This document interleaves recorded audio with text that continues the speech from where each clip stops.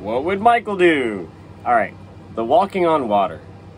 The next important miracle in the Synoptic Gospels is the equally unforgettable account of Jesus walking on the water. Once again, the episode is recorded in three Gospels. But this time, one of them is the Gospel of John. Given that scholars widely recognize that Jesus is depicted as divine in John's Gospel, we will focus our attention once again on the synoptic evidence since that is what is in question. Consider the account in Mark. Immediately, Jesus made his disciples get into the boat and go before him to the other side, to Bethsaida, while he dismissed the crowd. And after he had taken leave of them, he went up into the hills to pray. And when evening came, the boat was out on the sea, and he was alone on the land. And he saw that they were distressed in rowing, for the wind was against them. And about the fourth watch of the night he came to them walking on the sea. He meant to pass by them, but when, he, when they saw him walking on the sea, they thought it was a ghost, and cried out, for they all saw him and were terrified.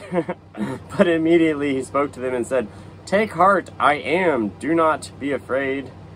And he got into the boat with them, and the wind ceased, and they were utterly astounded. While there are several differences in detail, again, contradictions prove God didn't write the Bible. So, just takes one. Um, and unique features in the three accounts, it is the substantial agreement among them that demands our attention. Oh my god, you're literally spelling out that you're not even trying to determine if this is real or not. You want it to be real, so you're just picking the bits and pieces that go together and stringing them along. Okay, in all three accounts, Jesus does and says two very remarkable things. First, he walks on the Sea of Galilee in the midst of the wind and the waves. Second, in all three accounts, when the disciples see him and become afraid, he says to them, I am, do not be afraid. Again, we don't know what Jesus said.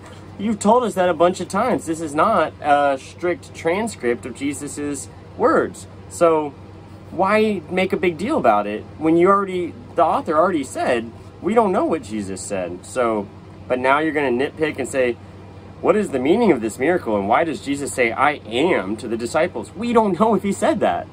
We know he didn't because they didn't speak English, so they said something else. At first glance, you could argue that Jesus' words, I am, Greek, ego, eimi, simply means it's me. And again, he didn't speak Greek, so that's already translated. Indeed, that's exactly how the expression is translated in various English versions of the Bible. Take heart, it is I. And to be sure, the Greek expression I am can be used simply as a way to identify oneself. For example, elsewhere in the Gospels, Jesus speaks about false messiahs who will come and say I am, meaning by implication, I am the Messiah.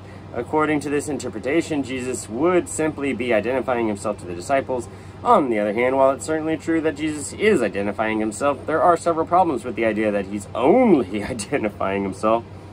Yeah, because it doesn't fit the narrative you're trying to shove down our throat.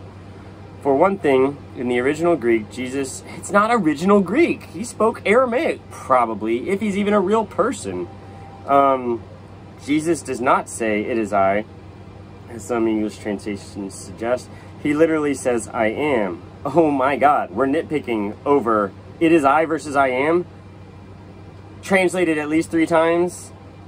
Handed down over 30 years before it was written. God, grasping at straws is what this guy's doing. This is different from other occasions when Jesus simply wants to identify himself. For example, after the resurrection, when the disciples don't recognize him, oh, he don't say, maybe it was somebody else.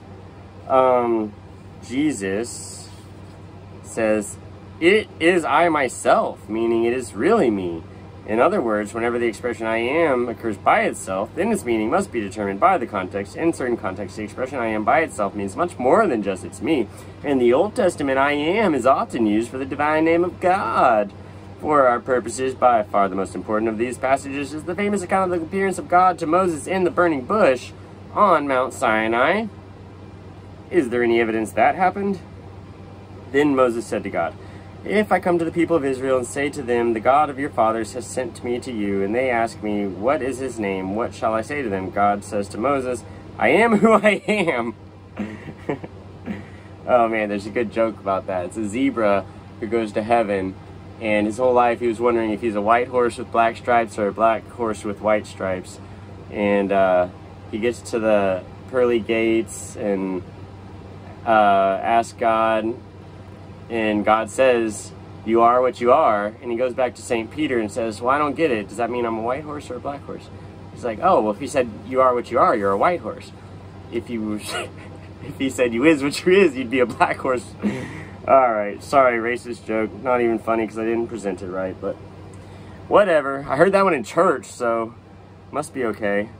Um, blah blah blah. I'm gonna recreate the walking on the water actually because there's some really cool sandbars around here in Marco Island where you could be way out at sea, and at low tide, these sandbars will barely be visible, but at mid tide or a little low low to mid, um, it's totally covered up, and from the right angle, I could look like I was a mile out at sea just walking, and pretty far too. So I'm gonna go ahead and show you guys how easy it is.